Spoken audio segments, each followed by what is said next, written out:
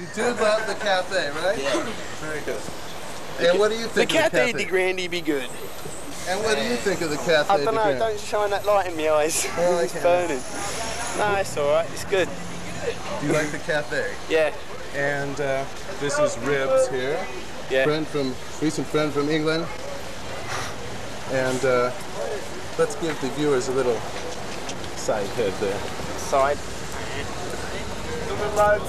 Very good. So, Hey, I just come out looking Very for good, thank you. I say hello.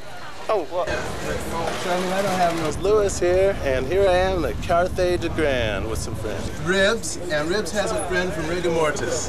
Hey, no, they're downstairs. Well, they're downstairs. Who's They're this? playing. Oh, it's mate Alex Alex. from, Just a friend. It's just a friend.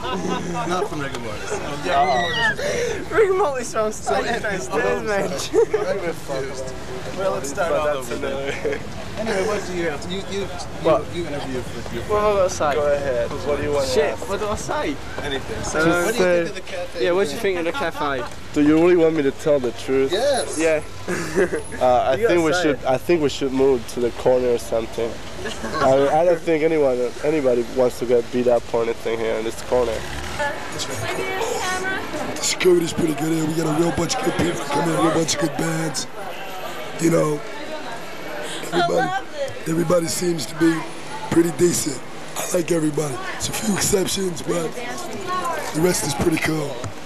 You know, I don't know what else to say, but um, only thing I can say is that sorry to see that Mike's gonna close it down on the 30th of October.